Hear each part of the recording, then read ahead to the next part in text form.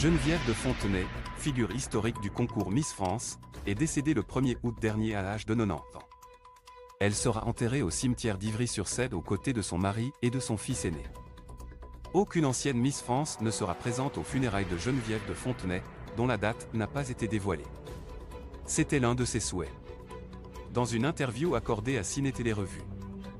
Son dernier collaborateur a confirmé qu'elle voulait une inhumation dans la plus stricte intimité familiale, en présence de son fils, ses petites filles et ses frères et sœurs. Il n'y aura personne d'autre. Aucune Miss France. Lors de ma dernière conversation avec elle, elle m'a dit qu'elle ne voulait pas d'obsèques à Johnny Hallyday.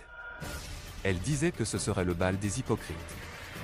A-t-il ajouté Il n'y aura donc pas de star ni de personnalité publique aux funérailles de Geneviève de Fontenay.